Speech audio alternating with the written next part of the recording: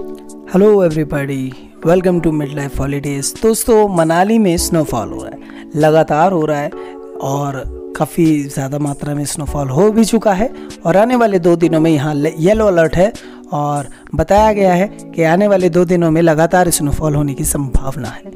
और मनाली में टूरिस्ट की संख्या घटती जा रही है, उसकी वजह है ठंड।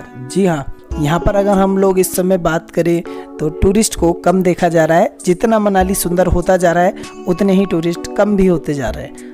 तो हम आप लोगों से निवेदन करेंगे कि अगर आप लोग किसी कारणवश नहीं आ पा रहे हैं तो ज़रूर मेंशन करें, क्या कारण है ऐसा जो टूरिस्ट की संख्या कम होती जा रही है दिन ब दिन। यहाँ के लोगों को रोज़गार मिलने में संभावना कम हो रही है, और साथ ही साथ लोगों को जीवन यापन करने में भी परेशानी हो रही है।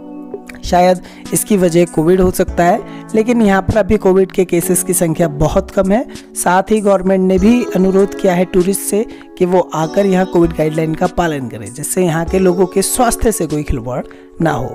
अगर हम बात करें मनाली में तो अभी फ़िलहाल नाइट कर्फ्यू लगा हुआ है। आप लोगों की गाड़ी रात दस बजे से सुबह पाँच बजे तक यहाँ नहीं चलेगी। और साथ ही आपको बताते चलें कि यहाँ पर आप अगर आप आ रहे हैं तो सबसे बेस्ट टाइम आपको आने का यही है स्नोफॉल एंजॉय करने के लिए, क्योंकि लगभग दो दिनों से स्नोफॉल लगातार बना हुआ है और आगे भी बनने होने की संभावना है।